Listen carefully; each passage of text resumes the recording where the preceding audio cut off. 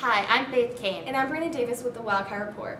Wildcats, this broadcast is dedicated to the seniors that are graduating for this 2014 school year. So all of our stories and events are about the seniors. Don't forget, tonight is the senior dinner at 6.30. Remember, skip the jeans. And dress snappy. And now we're going to go to a broadcast about what our high school seniors learned throughout their four years at Millard West. Hi, I'm Brianna Davis. And I'm Kate McGinn from the Wildcat Report. The class of 2014 has seen a legacy of both academic and athletic success.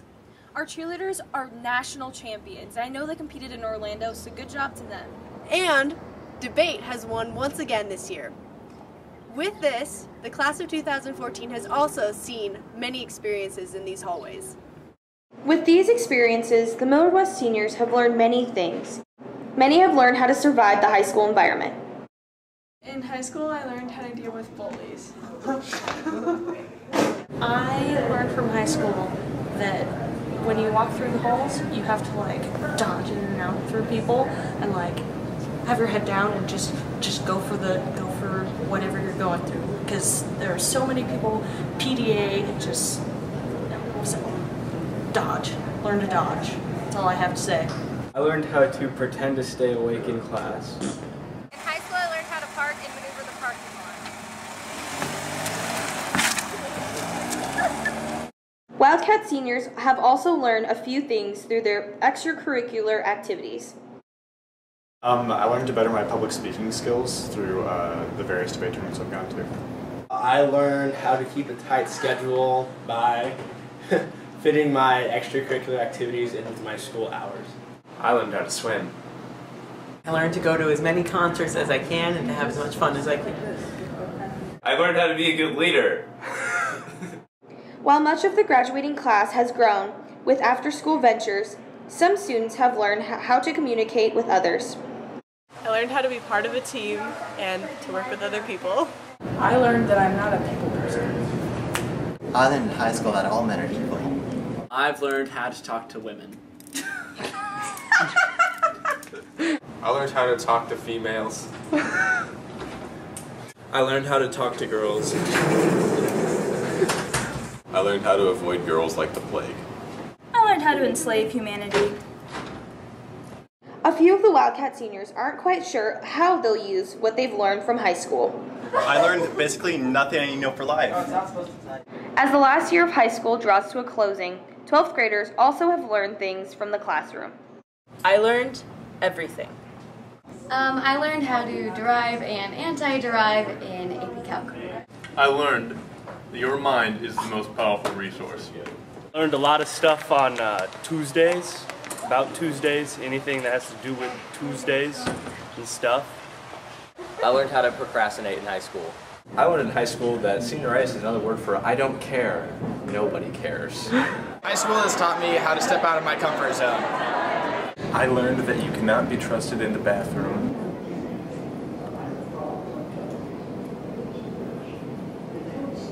As members of this class of 2014, we've learned a few things as well. I learned not to be afraid of dogs. And I learned that every day there is something more to learn. I've been Kate McGinn and Brianna Davis with the Wildcat Report. I didn't just learn how not to be afraid of dogs. I also learned that I wanted to be a broadcasting journalist when I was older, so as a career. I also learned through high school to never forget donuts during QT. It's like a sin here, so freshmen, sophomores, and juniors, never forget because it's unforgivable. And Miss Hylock's QT won the teacher contest. Sorry, Mr. Bull. It was 21 to 21, and there was a mystery teacher, and my QT got it, so sorry. And now we go to a recap of all the past teachers.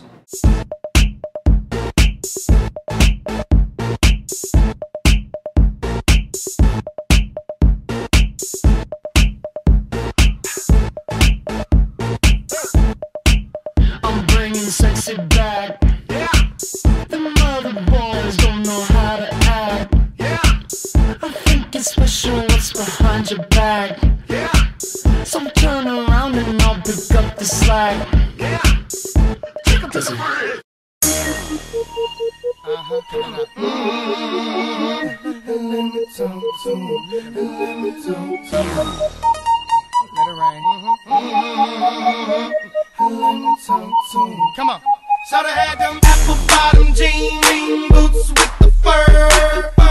The whole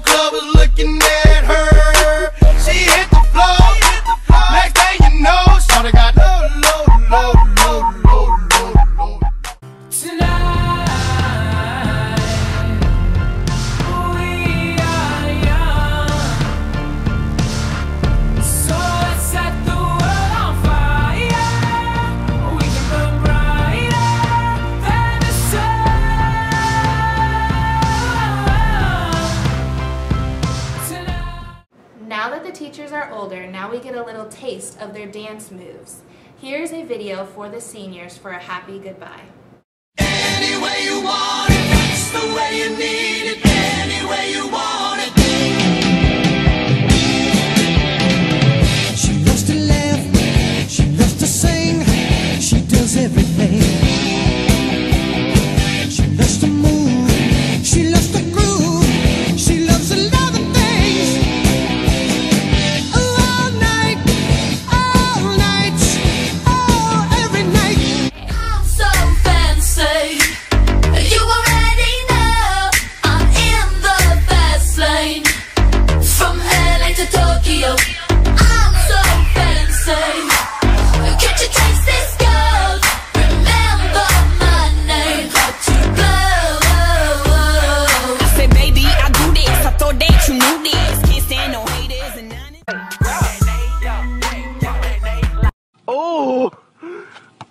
Oh,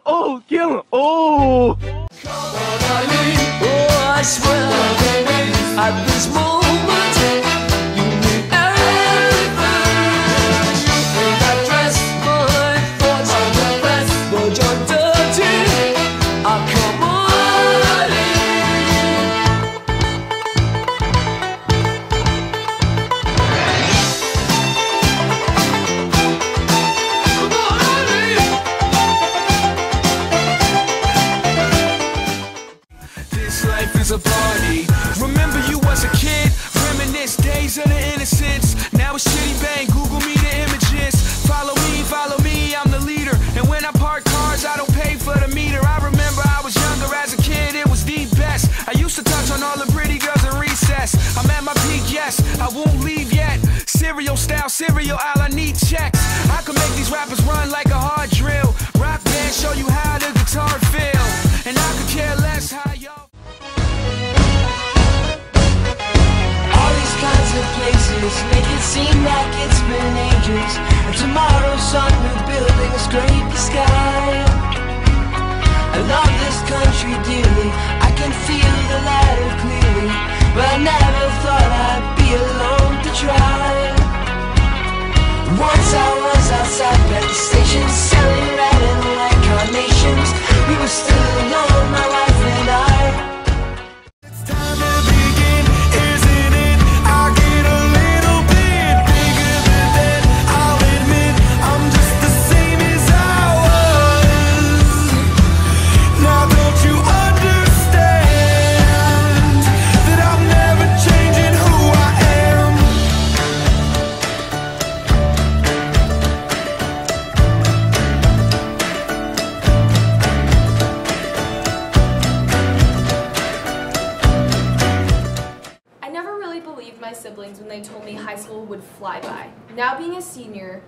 graduating in less than a week, I don't know what to think.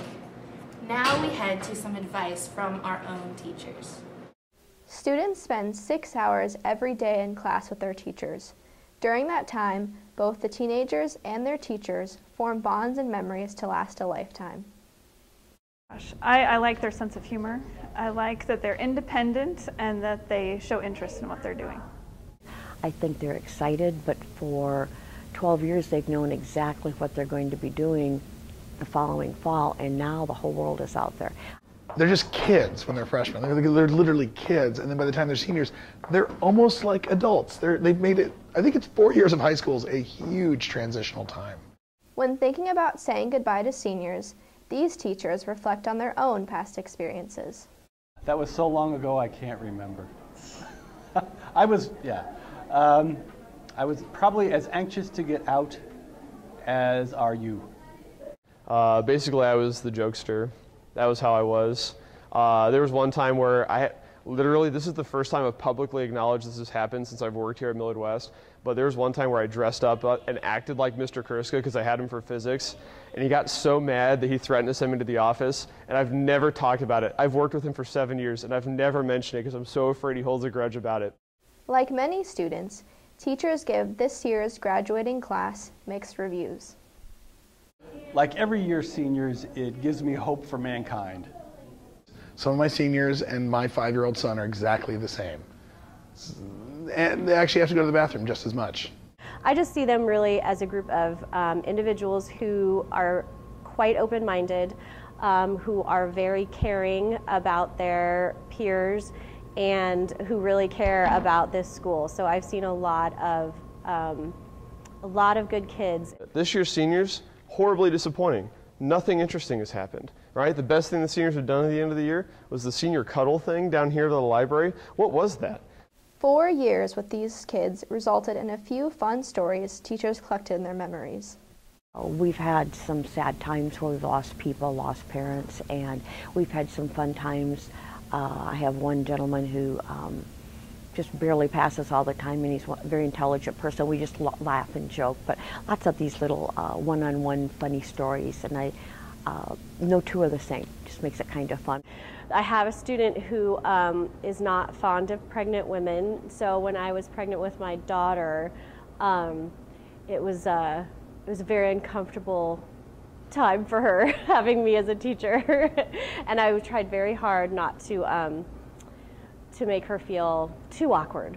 We were preparing for a skit to take to Lincoln for the World Language Festival there, and um, we were doing the electric slide, so I had to show them the appropriate way to do the electric slide from old school for our Langer days.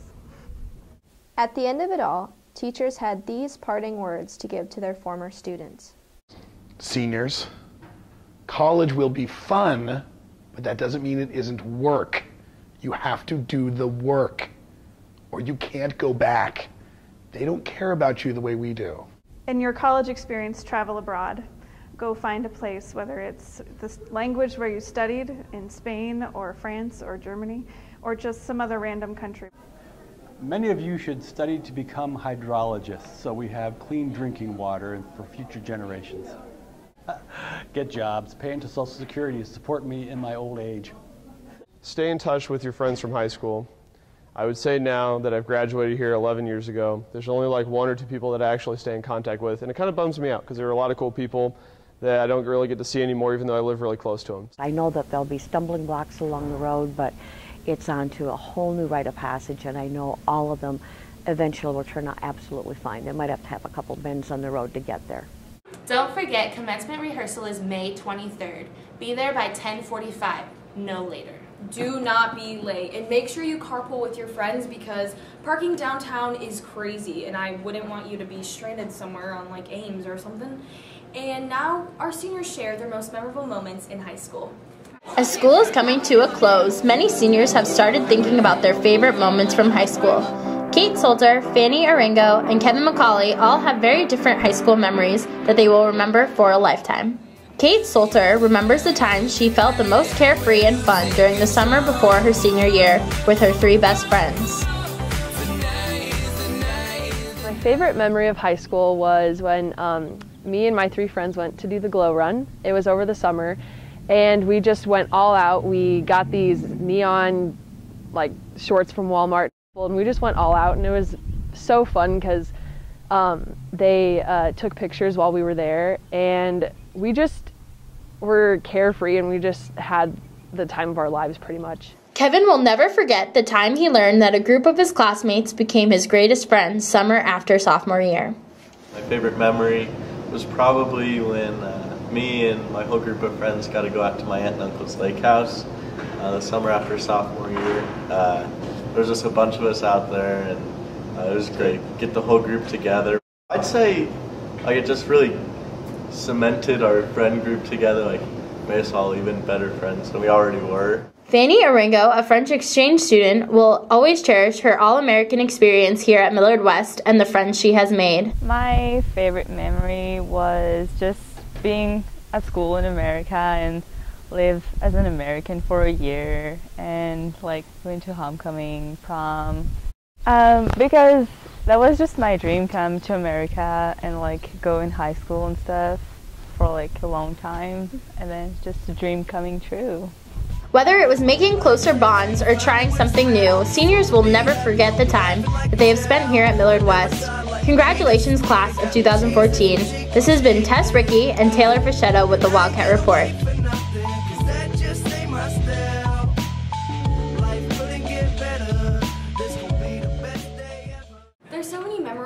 Moments that have happened in the hallways of Millard West this year. I can't even count. I don't think I'll ever forget playing for our school colors. That's always amazing. This is our last broadcast um, for you Wildcats of us anchoring since we're graduating. So this has been Brianna Davis and Faith Cain with the Wildcat Report.